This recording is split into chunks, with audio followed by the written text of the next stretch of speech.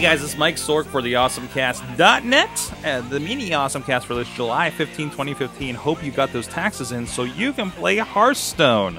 That just popped up on the iPhone and Android app stores. Has of course been available for the PC, the Mac, the uh, iPad itself, and this is a really good time because myself, I just got into Hearthstone. Uh, I was fortunate enough to get a beta key for the uh, uh, uh, Heroes of the Storm uh, game coming up here, and, uh, and and was tempted and jumped into Hearthstone.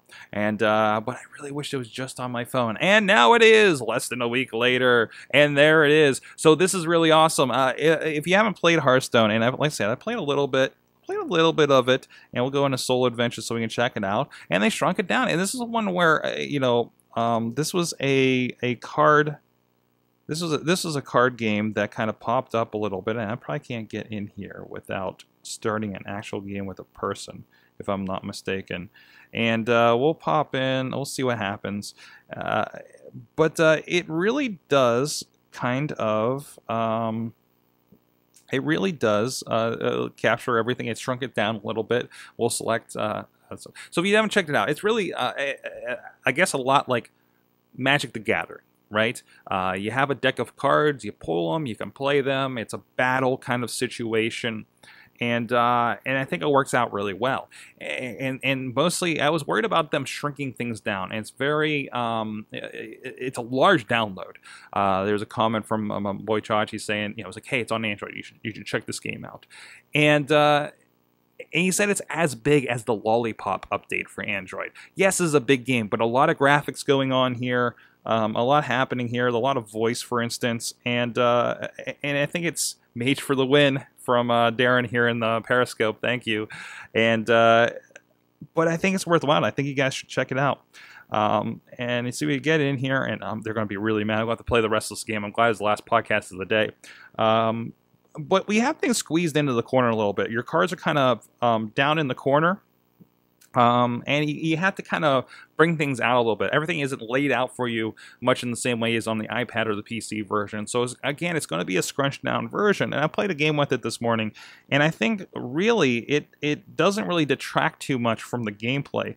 I think you still get a lot of a lot of action out of it. And uh, so I'm going to play my card here. Throw a T Rex or a Raptor at him.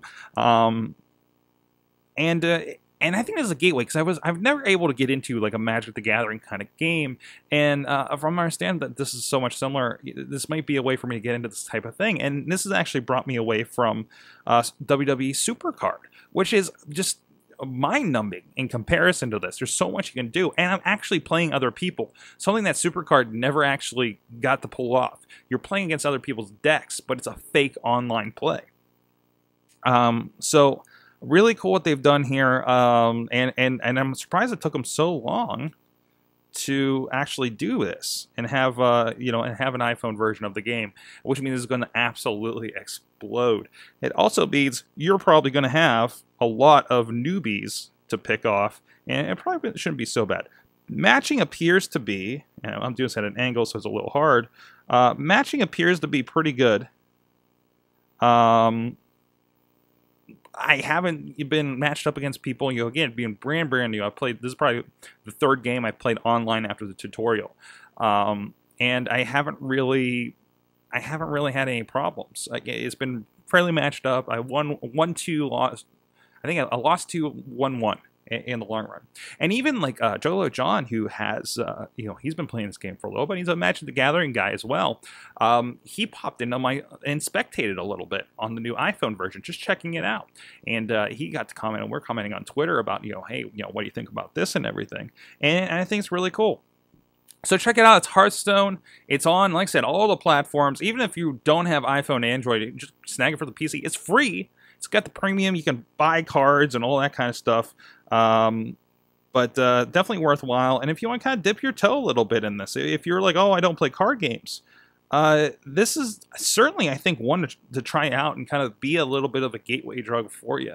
Um, and, and, it's got online play. You know, you don't get a lot of games with true online play on your phone that isn't really, really kind of janky. So Go check that out. Legendary Cards Rule. Thanks, Darren, uh, in the Periscope. And uh, you can check out this and everything else, awesomecast.net. And of course, this is going to pop up since it's some video game related stuff over at insertcointobegin.com. You just had a great show on Boss Battle uh, where we discussed all manners of video game things, including. Jeez, what was a. It's all it's all blending together. But actually, it was a, a, fun show, and I think one of the better ones we've had in a while there with uh, Boss Battle at InsertCoinToBegin.com. We'll see you guys next time.